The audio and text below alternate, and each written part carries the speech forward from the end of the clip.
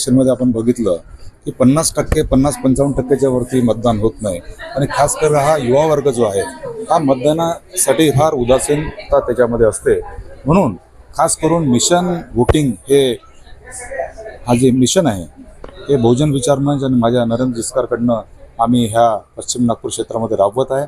खास करून जे रायसोनी कॉलेज झाले त्याच्यानंतर हिस्लॉप कॉलेज जे जे पश्चिम नागपूरमध्ये तिरपुडे कॉलेज या सगळ्या कॉलेजमध्ये आम्ही हे सगळं आज आदरणीय सचिन पिळगावकर यांची जी टीम आज नवरा माझा नवसाच्या ह्या टूसाठी जे आलेली आहे त्यांच्यासोबत आम्ही मिशन वोटिंगचं हे हे याची सुरुवात केली.